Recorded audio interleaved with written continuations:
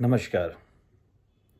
आज एक अच्छी खबर कृषि से रिलेटेड है और ये सिर्फ़ कृषकों को कोई इफ़ेक्ट नहीं करता ऐसी खबरें जो कंज्यूमर हैं, जो कृषि के उत्पाद को खरीदते हैं, या तो खाद्यान्न कहिए या फिर बाकी चीज़ों को खरीदते हैं, उनके लिए भी बहुत ही इम्पोर्टेंट है।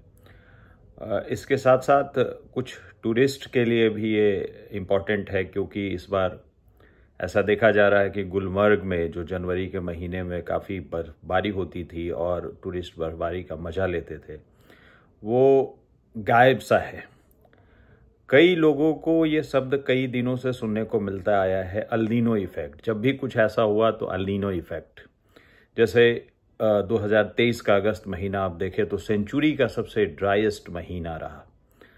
उसके अलावा आप अक्टूबर, नवंबर के महीनों को देखें तो ये भी काफ़ी ड्राई रहा और मानसून का डिले, कम बारिश, ये सब कई ऐसे फैक्टर थे जो कि अलिनो इफ़ेक्ट के कारण पूरे भारत के लोगों को ही नहीं, विश्व में भी लोगों को फील करना पड़ा। बेसिकली अलिनो इफ़ेक्ट है क्या? मतलब अलिनो इफ़ेक्ट अलिनो इफ़ेक्ट ये चीज़ क्या है?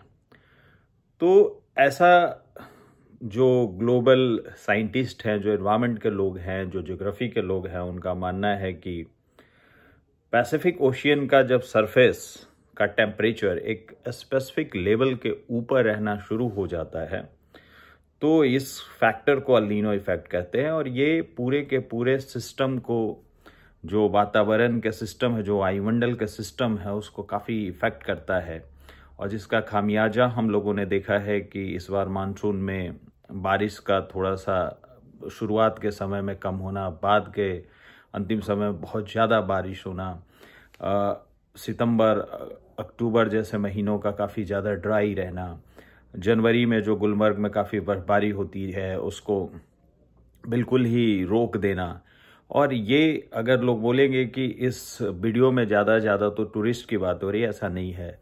आप अगर समझेंगे कि गुलमर्ग एरिया में बोल रहा हूँ तो वो इलाका जो है हिमाचल का और कश्मीर का, वो सेब के लिए जाना जाता है। और सेब के पकने के प्रोसेस में बर्फबारी का एक बहुत बड़ा महत्व है। बहुत को ऐसा लगता है कि बर्फबारी सिर्फ़ टूरिस्ट के लिए चीज़ है बट ठंड और बर्फ़ कुछ फ़सलों के लिए ये बहुत ही इंपॉर्टेंट होता है। तो सेब का ज़िक्र तो हमने कहा कि पकने के लिए बर्फ़, बारी एक बहुत बड़ा फैक्टर है। उसी तरह से नवंबर से लेकर फरवरी की जो ठंड है, वो गेहूँ के फ़सल के लिए बहुत फैक्टर करता है। जैसे पिछले साल 2023 में आपने देखा होगा कि मार्च तक ऐसा लग रहा था कि भारत गेहूँ का जो प्रोडक्शन है, वो रिकॉर्ड लेवल पे करेगा और सब कुछ ऐसा प्लान हो रहा था कि हम एक्सपोर्ट करेंगे एक्सपोर्ट के लिए सब कुछ प्लान हुआ था और सडन अलिनो इफ़ेक्ट के कारण एक आठ दस दिन में ही वो फैक्टर क्रिएट हुआ, जिससे कि जो क्रॉप थे गेहूँ के बहुत ज़्यादा डैमेज हुए या यूँ कहें कि जो उसके दाने थे वो बहुत तेज़ी से सूख गए और उसमें जो वेट आना चाहिए था, वो वेट आया नहीं। और फिर गवर्नमेंट को एक्सपोर्ट तो बैन करना ही पड़ा, फिर स्टॉक लिमिट जैसे मेजर्स लेने पड़े जिससे कि इन्फ्लेशन बहुत तेज़ी से न बढ़ पाए।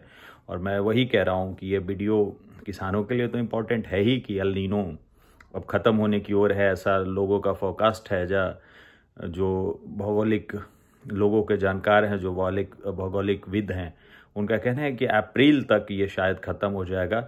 लेकिन ये ख़त्म होने का मतलब ऐसा नहीं है कि भविष्य में अलिनो इफ़ेक्ट नहीं आएगा। अलिनो इफेक्ट्स को ऑब्ज़र्व किया गया है, ये एक साइक्लिक प्रोसेस है, जो कि दो से सात सालों के बीच में कभी भी फैक्टर्ड होता है। बट ये एक अच्छी खबर है किसानों के लिए भी, एक अच्छी खबर है जो कंज्यूमर हैं, उनके लिए भी।